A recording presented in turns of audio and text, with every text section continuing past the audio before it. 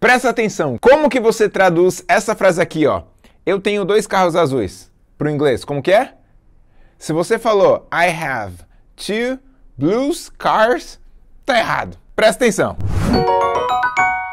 What's up, learners? Aqui é o Júnior Silveira, sou professor de inglês online, o mensageiro da brilhagem. A tradução dessa frase é o seguinte: I have two blue cars, certo? Então, blue cars. Nada de falar blues, tá? Blues é um estilo de música. Na verdade, blue é um adjetivo, né? Significa azul, é a qualidade, né? É a cor.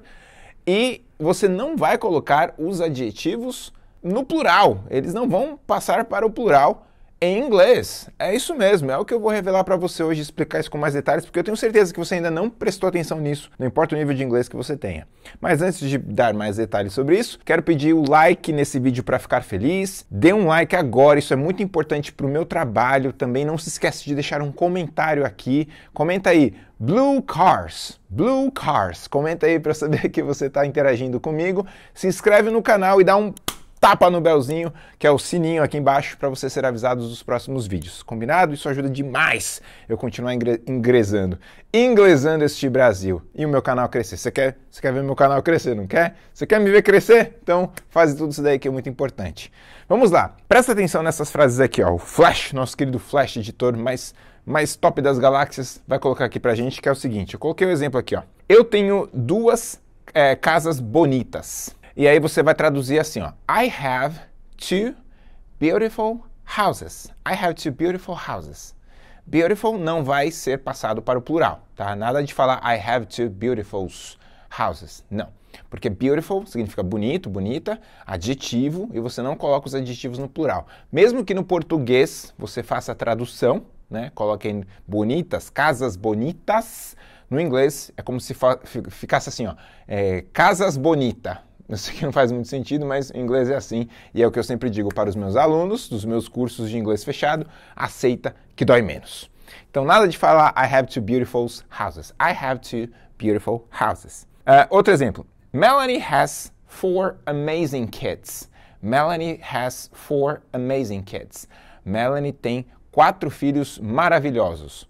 Então, a palavra aí amazing que é maravilhoso, fantástico, né? alguma coisa nesse sentido, fantástico, né? Não vai ser colocado aqui como amazings. Não, nada de falar Melanie has four amazing kids. Melanie has four amazing kids. Amazing fica no singular, né? Porque kids já está no plural aí.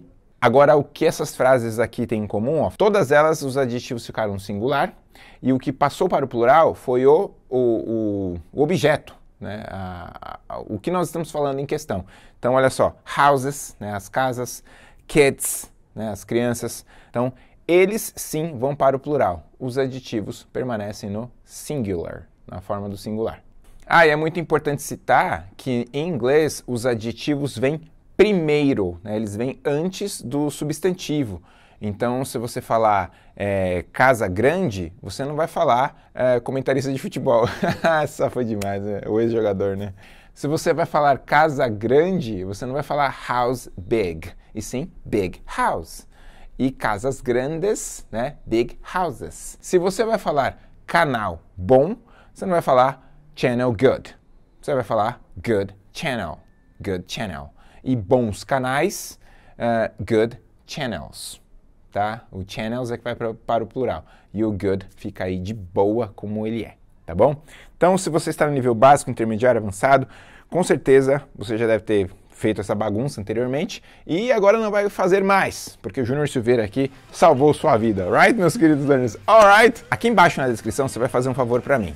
Você vai encontrar ali o link do meu Instagram, porque lá eu coloco dicas todos os dias e a gente pode bater um papo, trocar uma ideia. Então pode clicar lá, me seguir no Instagram, mandar uma mensagem para mim. E também tem um outro link do nosso curso A Arte da Conversação.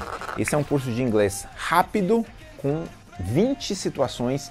Serão apresentadas para vocês 20 situações em inglês. Então você vai aprender a falar inglês no aeroporto, na, no hospital, na farmácia, em compras, como falar inglês em público, reunião, trabalho, enfim, um curso rápido, direto ao ponto que vai te ajudar em 20 situações diferentes. clica lá e conhece o Arte da Conversação. E também não se esqueça de deixar o like para ficar feliz, se inscrever no canal e ativar o belzinho. E é o seguinte, comenta aqui embaixo, Blue Cars, tá? Blue Cars, Blue Cars.